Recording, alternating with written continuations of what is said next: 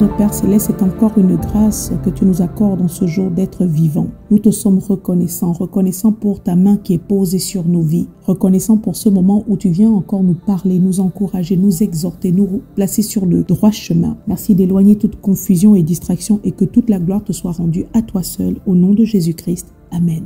Bien-aimés, que Dieu vous bénisse. Nous prenons la parole de Dieu dans 2 Chroniques, 2 Chroniques chapitre 7. Nous allons lire du verset 11 jusqu'au verset 15. Je suis dans l'édition de Louis II. Lorsque Salomon eut achevé la maison de l'Éternel et la maison du roi, et qu'il eut réussi dans tout ce qu'il s'était proposé de faire dans la maison de l'Éternel et dans la maison du roi, l'Éternel apparut à Salomon pendant la nuit et lui dit, J'exauce ta prière, et je choisis ce lieu comme la maison où l'on devra m'offrir des sacrifices, quand je fermerai le ciel et qu'il n'y aura point de pluie quand j'ordonnerai aux sauterelles de consumer le pays, quand j'enverrai la peste parmi mon peuple. Si mon peuple sur qui est invoqué mon nom s'humilie, prie et cherche ma face, et s'il se détourne de ses mauvaises voies, je l'exaucerai des cieux. Je lui pardonnerai son péché et je guérirai son pays. Mes yeux seront ouverts désormais et mes oreilles seront attentives à la prière faite en ce lieu. Que toute la gloire soit rendue à Dieu au nom de Jésus-Christ. Une fois de plus, bien-aimé, que Dieu vous bénisse abondamment. Alors, tandis que commencent et s'achèvent tout doucement les jours et semaines, les mois de cette nouvelle année 2024,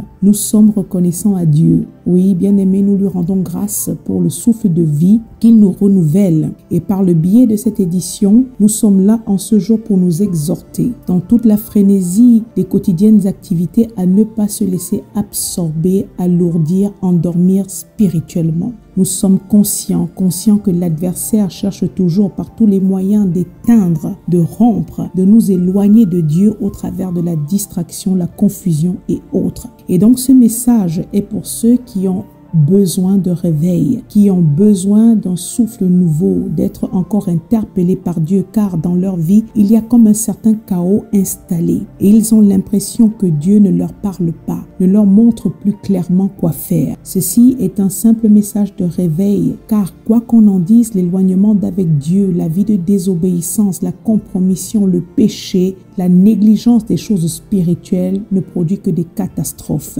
Cela étant, je précise que nous vivons, nous traversons tous des moments qui sont assez compliqués et lourds il y a plusieurs combats spirituels actuellement et l'adversaire, le diable, est acharné et il frappe de tous les côtés. Certains d'entre nous, enfants de Dieu, en sont conscients et luttent d'ailleurs pour garder la tête hors de l'eau, mais il y en a d'autres qui sont déjà complètement éteints aveuglés, endormis, complètement distraits, alors qu'ils sont en train de traverser des situations qui sont très interpellantes, mais ils n'arrivent pas à discerner. Enfants de Dieu, il est temps qu'on se réveille spirituellement et qu'on y mette un peu plus de sérieux dans notre spirituel, qu'on sorte de l'ignorance, voire même de la négligence envers le domaine spirituel, car souvenons-nous que le spirituel guide le physique et il est très important. Nous devons refuser la tiédeur spirituelle et surtout redonner la première place à Dieu dans nos vies. Veillons sur nos vies spirituelles et éradiquons tout ce qui pourrait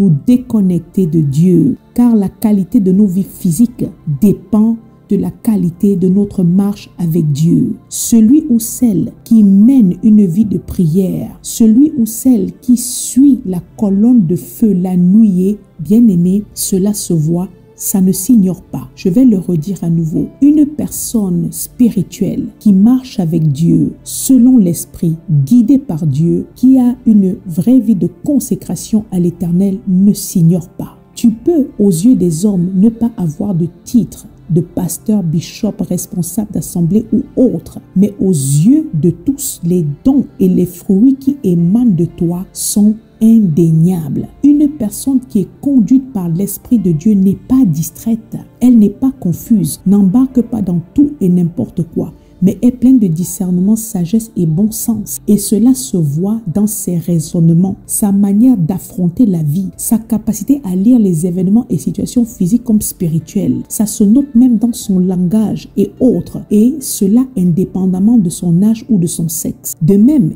il en est d'une brebis ou même d'un responsable, d'un conducteur spirituel, d'un pasteur, d'un bishop, que sais-je, qui est distrait, qui est tiédi, qui n'a pas de vraie vie de prière ou même qui marche dans la compromission et le péché une personne qui a perdu de sa ferveur d'antan pour X raisons, malgré toute l'allure pieuse qu'elle pourrait afficher aux yeux des autres, cette personne se discerne clairement dans ses agissements, son langage, ses attitudes, voire même la nature des enseignements et conseils qu'il prodigue aux autres. De telles personnes malheureusement sont convaincus de faire la chose juste et d'être dirigés par l'esprit, mais accumulent seulement gaffe sur gaffe, prenant les mauvaises décisions, étant dans les erreurs de jugement, allant complètement à l'opposé de la volonté de Dieu car c'est leur chair qui les gouverne et non l'Éternel. Bien-aimés, vous m'entendrez dire tout au long de ces quelques minutes, examinons-nous. N'oublions pas qu'une personne distraite spirituellement a tendance à facilement distraire les autres et les amener dans la confusion absolue si les autres aussi ne font pas attention. Le véritable croyant doit aimer Dieu de tout son cœur, de toute son âme et de toute sa pensée, comme le dit Matthieu 22, verset 37. Doit avoir faim et soif de consommer la parole. Cette parole qui, une fois assimilée, reçue avec amour et douceur, fait grandir dans la connaissance et sagesse et transforme au fur et à mesure le caractère à la ressemblance de Christ. Je rappelle que Dieu marche avec ceux qui marchent avec lui et honore ceux qui l'honorent. Ce message est un message de réveil. Le spirituel se répercute énormément sur le physique, ne l'oublions jamais. Satan et les démons, les sorciers le savent. Voilà pourquoi ils œuvrent avec acharnement pour attirer les croyants dans les choses superficielles, charnelles et vaines. Et parallèlement provoquent un désintérêt pour tout ce qui est de Dieu. Et pendant vaque à toutes ces futilités, l'adversaire peut tranquillement, aisément dérober, égorger et détruire. En cette année 2024, bien aimés, examinons-nous constamment à la lumière de la parole de Dieu et réveillons-nous. Attention à nos marches spirituelles. Si besoin, ajustons-nous et retournons à Dieu. Marchons dans l'obéissance et respectons ce que Dieu nous demande de faire. Si nous voulons voir sa gloire, si nous voulons voir le changement s'opérer dans nos vies, expérimenter le réveil spirituel. Ceci est une exhortation importante et nécessaire car dans l'exercice du ministère m'entretenant avec bon nombre de croyants, je peux assurer qu'il y a une urgence de réveil dans la vie de certains, qui sont pourtant nés de nouveau et assidus dans les églises, mais spirituellement éteints. Ils n'ont plus aucun bon sens ni discernement. Des croyants qui sont assis dans toutes sortes de compromissions et retour aux vomissures, tellement distraits et aveuglés qu'ils ne discernent même plus le bien du mal car ils sont gouvernés, dirigés par leur chair et non l'Esprit de Dieu. Que Dieu nous fasse grâce de demeurer fermement attachés à lui et à mener des vies dans l'obéissance, car la désobéissance coûte cher. Entendons-nous bien, personne d'entre nous vivant sur cette terre ne peut prétendre être arrivé spirituellement. Nous sommes tous dans la course comme Paul le disait. Et cela jusqu'à ce que le Seigneur nous rappelle. Mais pendant que le souffle de vie nous est donné, il est de notre responsabilité de maintenir ce feu allumé afin que Satan ne nous crible pas comme le froment. N'oublions pas qu'il rôde comme un lion rugissant cherchant qui dévorer. Bien-aimés, regardons nos vies. Quels fruits portons-nous? Dans quel état sont nos vies spirituelles? Dans quel état sont nos cœurs? Le bilan spirituel et physique doit être constamment renouvelé la lumière de la parole de Dieu afin de voir si nous sommes dans la courbe droite de cette parole. Nous devons en tant qu'enfants de Dieu nous décider à marcher dans la vérité, l'obéissance l'authenticité. C'est nécessaire de remettre de l'ordre dans nos vies, de s'ajuster spirituellement si nécessaire, fermant les portes au diable et à la distraction. Se souvenant de l'Éphésiens 4.27 ne donnait pas accès au diable. Retournant au texte, les versets à peine lus sont extraits d'un passage assez connu par certains qui m'écoutent aujourd'hui. Nous nous en servirons pour nous réveiller si nécessaire. Ayant lu ces versets, il en ressort une fois de plus clairement que c'est celui qui marche dans l'obéissance à ce que Dieu demande de faire qui obtient sa bénédiction. Je rappelle que l'adversaire le sait. Voilà pourquoi il met tout en œuvre pour favoriser l'éloignement d'avec Dieu et sa parole. Les versets que nous avons lui disent que c'est lorsque Salomon eut achevé la maison de l'Éternel ainsi que son palais personnel et terminé tout ce qu'il devait y faire que l'Éternel lui apparut cette nuit. Pour notre gouverne, c'est la deuxième fois que l'Éternel apparaissait à Salomon. Je vous donne la première référence lorsqu'il apparut à Salomon à Gabaon, qui se trouve dans 1 Chronique chapitre 7 verset 12. Dieu apparaît à Salomon et lui dit, j'exauce ta prière et je choisis ce lieu comme la maison où l'on devra m'offrir des sacrifices. Dans cette apparition, Dieu va, si vous lisez jusqu'au verset 20, encourager Salomon et à la fois lui faire des promesses de soutien, mais également donner des avertissements. Dans les promesses de soutien,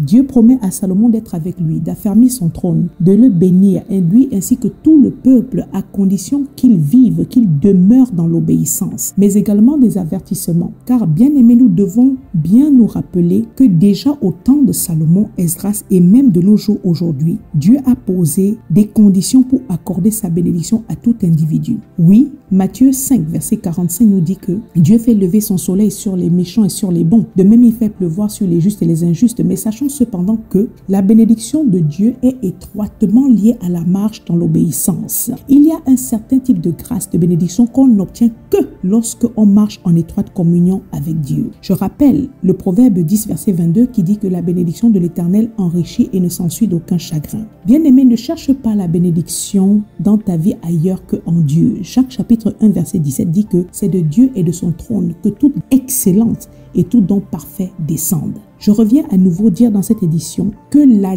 désobéissance et la rébellion n'entraînent rien de bon, si ce n'est la destruction au fil du temps, car le salaire du péché, c'est la mort. Romains 6, verset 23. Bien-aimé qui désire demeurer spirituellement éveillé doit faire de Dieu sa priorité. Cela passe par un attachement profond à l'éternel. Doit s'appliquer à marcher dans l'obéissance. Implique l'abandon du péché. Et enfin doit se soumettre totalement à la volonté de Dieu qui, elle, est suprême. Et donc renoncer à une vie centrée sur soi-même. Bien-aimé, rappelons-nous constamment qui est notre Père, notre Dieu, l'éternel. Il est saint. Et dans sa sainteté, il invite également nous, ses enfants engendrés à Christ, à lui ressembler. Il dit dans 1 Thessaloniciens 4, verset 7, de rechercher la sanctification, car c'est à cela qu'il nous a appelés et non l'impureté. De même, Hébreu chapitre 12, verset 14 dit rechercher la paix avec tous et la sanctification sans laquelle personne ne verra le Seigneur. Bien-aimé qui veut expérimenter le réveil spirituel, la restauration doit faire un ménage, la propreté dans sa vie, se sanctifier. Nous devons accepter de mener des vies dignes du Seigneur, marchant dans la vérité, l'authenticité reflétant Christ, rejetant toute forme de compromission, péché, souillure et saleté. Parce que ce sont ces choses-là qui nous empêchent d'entendre Dieu éteint la voix de l'Esprit, empêche la main de Dieu d'agir puissamment dans nos vies comme le dit l'Ésaïe 59 verset 1 à 2. Et c'est encore nous qui en payons l'époque. Toi qui m'écoutes en ce moment, je ne sais pas ce que tu traverses, mais pendant que je donne ce message, rentre en toi-même. Et comme je l'ai déjà dit à maintes reprises depuis le début de cette édition, examine ta vie avec humilité. Parfois, quand ce genre de message est donné, certains ne se sentent pas interpellés ou concernés, car se trouvent au top spirituellement, gloire à Dieu. Mais l'apôtre Paul dit également dans 1 Corinthiens chapitre 10 verset 12, Ainsi donc que celui qui croit être debout prenne garde de tomber. Lorsque la parole de Dieu est donnée, nous devons tous nous sentir interpellés et nous devons veiller à la recevoir avec humilité. Cela étant une personne qui m'écoute que Dieu n'a pas changé. Et qu'importe les situations pénibles, compliquées, les épreuves, les sécheresses, les sauterelles, la peste qui peuvent terrasser ta vie, sache que Dieu s'adresse à son peuple, à ses enfants. L'Éternel qui nous connaît personnellement, qui nous aime, qui ne veut pas notre mort, mais notre repentance, qu'on change de conduite, qu'on vive, comme il le dit dans l'Ézéchiel 18, verset 23, nous invite à retourner à lui avec des cœurs des cœurs repentants. Et bien que tous les versets de la parole de Dieu soient importants dans cette édition particulièrement, nous ne retiendrons que le verset 14 comme point central, car il s'adresse également à nous. Dieu dit, si mon peuple sur qui est invoqué mon nom s'humilie et cherche ma face, et s'il se détourne de ses mauvaises voies, je l'exaucerai des cieux, je lui pardonnerai son péché et je guérirai son pays. Si mon peuple, mon peuple, mes enfants, ce qui est invoqué mon nom, s'il pose certaines actions précises, lorsqu'il se trouve à traverser des épreuves qui sont dues à leur désobéissance, du fait qu'ils ne respectent pas ma volonté, moi, l'Éternel, dans ma miséricorde, mon amour, ma bonté, si mes enfants reviennent à moi, ils obtiendront de ma part exaucement, pardon et guérison. Bien-aimés, examinons nos vies chacun pour sa part, tout en nous posant les bonnes questions. Bien que les épreuves vécues ne soient pas toujours le fruit de la désobéissance, car la parole dit que tous ceux qui veulent vivre pieusement en Christ seront persécutés. Il arrive cependant parfois dans la vie de certains croyants une absence de bénédiction divine à cause du péché, à cause de l'endurcissement du cœur, l'obstination à ne pas obéir à sa volonté. Il arrive parfois que la bénédiction de Dieu ne coule pas, qu'elle manque dans nos vies et tous les fruits que l'on produit soient bizarres parce que bien qu'étant enfant de Dieu, on ne marche pas avec Dieu. Dieu n'est pas dans tout ce que nous essayons de réaliser. Résultat, on est fatigué, découragé, perdu et on s'enfonce davantage dans une spirale terrible. Bien-aimés, examinons nos vies. Dieu nous tend la main encore en ce jour et dit à son enfant, si toi, mon enfant, sur qui est invoqué mon nom, si tu t'humilies, tu pries et tu cherches ma face, si tu te détournes de tes mauvaises voies, si tu abandonnes ton péché, je te des cieux, je te pardonnerai ton péché et je te guérirai. Si mon peuple s'humilie, numéro un, bien-aimé, l'humilité. L'humilité entendue comme sentiment de la propre insuffisance qui pousse à réprimer tout mouvement d'orgueil. Bien aimé, une personne humble reconnaît avec gratitude la dépendance à Dieu. Reconnaît que même le souffle de vie, s'il est encore en vie, c'est par la grâce de Dieu. Du coup, devant l'Éternel, s'abaisse. Reconnaît le besoin constant de l'aide de Dieu et de son soutien en tout, parce qu'il est conscient d'être limité. Une personne humble reconnaît que tout ce qu'il est, tout ce qu'il possède, tout ce qu'il réussit à accomplir, toutes ses capacités, talents ne sont en réalité que des dons de Dieu. Une personne remplie d'humilité ne se place pas au-dessus des autres, ne se voit pas comme supérieure, ne fait rien par esprit de parti ou vaine gloire, mais regarde les autres comme étant au-dessus de lui, considérant premièrement leur intérêt avant les siens, comme le dit Philippiens chapitre 2, versets 3 à 4. Bien-aimés, soyons humbles. L'humilité devant Dieu est une vertu très importante à cultiver. Notre merveilleux Seigneur et Sauveur Jésus-Christ lui-même en Matthieu 11 disait qu'il est doux et humble de cœur. L'humilité, rappelons-le, précède la gloire. Proverbe 15, verset 33. Sommes-nous humbles? Comment nos cœurs N'oublions pas que Dieu regarde le cœur et non nos façades qui peuvent être très trompeuses. Quand la parole de Dieu nous est annoncée, comment la recevons-nous? Examinons nos vies et regardons quel genre de fruits nous portons au quotidien. Je souligne que l'idée est l'opposé de l'orgueil. L'orgueil qui est une gangrène terrible qui favorise l'aveuglement spirituel. Bien aimé, une personne orgueilleuse est d'abord à la base très susceptible, présomptueuse et excessivement satisfaite d'elle-même. Pour cette personne-là, le problème, c'est les autres. Toujours plein de raisonnements charnels qui n'ont rien à voir avec la vérité. Les fruits que porte une personne orgueilleuse sont désastreux. Et Dieu lui-même, dans Jacques chapitre 4, verset 6, dit qu'il résiste aux orgueilleux. Dieu résiste aux orgueilleux, mais il fait grâce aux humbles. Bien-aimés, attention à nos cœurs, à l'orgueil à tous les niveaux, même spirituellement. C'est quelque chose qui détruit la vie de plusieurs croyants comme serviteurs de Dieu. Je le dis à nouveau, avec l'orgueil, l'Éternel a un problème. Et sa parole s'adresse à certains en ce jour et dit, si mon peuple s'humilie, ça veut dire renonce à l'orgueil, au sentiment exagéré de la propre valeur, à une